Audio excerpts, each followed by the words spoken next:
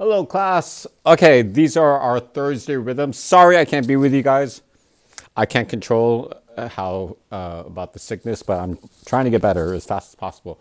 Uh, so for today's rhythms, we're actually going to do two measures long. So basically, instead of just doing one, two, three, four, we're doing one, two, three, four, one, two, three, four. That's two measures. Each set of four is a measure.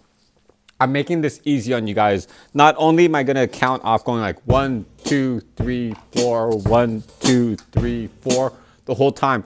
I actually labeled each drum one, and we're using Roman numerals.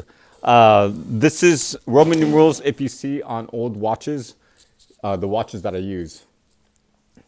See this?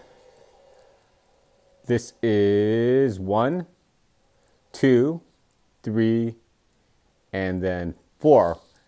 Actually, this watch, it uses Roman numerals, but the four is different on a watch than it is uh, uh, traditionally. But this is how Roman numerals work. So the letter I, it means one in, this is, this is back when the Latin was a spoken language. And sorry, I'm trying to put my watch back on. This is one. So I'll be playing one on the snare drum here. Two, which is two lines. Two, three, which is three lines. And this one, this Roman numeral, this is one equals I equals one. V equals five. So if you have the a one right before a V, the I before a V, it, it basically means five minus one. So this is 1, this is 5. So 5 minus 1 equals, tell me what that number is.